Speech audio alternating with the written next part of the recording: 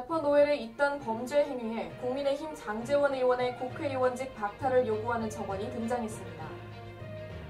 청원인은 노엘의 계속되는 범죄 행위는 장 의원이 아버지로서 그 책임이 없다고 보이지 않는다라며 노엘이 이런 행위를 저지를 수 있었던 자신감은 국회의원인 아버지가 존재했기 때문이라고 주장했습니다.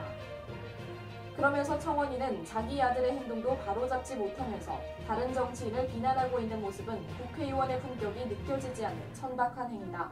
반성하지 않는 노엘의 자신감이 장 의원의 권력에서 기인했다면 그 권력은 없어져야 한다고 덧붙였습니다. 청와대 국민청원 홈페이지에는 장재원 아들을 구속수사 엄벌하라는 또 다른 청원도 올라온 상태입니다.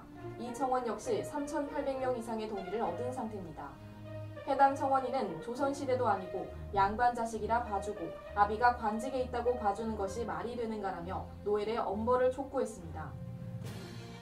노엘은 지난 18일 밤 서울 서초구에서 무면허 운전을 하던 중 접촉사고를 내고 현장에 출동한 경찰의 음주 측정과 신원 확인 요구 등에 불응하며 머리로 경찰관을 들이받은 혐의를 받습니다.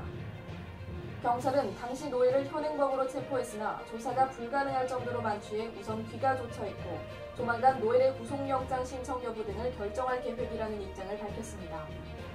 노엘은 앞서 지난 2019년에도 서울 마포구에서 면허 취소 수준인 혈중 알코올 농도 0.12% 상태에서 운전을 하다가 오토바이와 충돌하는 사고를 냈고 지난 2월과 4월에는 폭행 사건에 휘말려 경찰 조사를 받았습니다.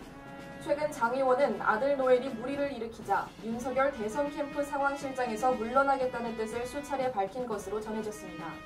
다만 윤석열 전 검찰총장이 이를 만류했다고 합니다. 지금까지 아나운서 권혜연이었습니다.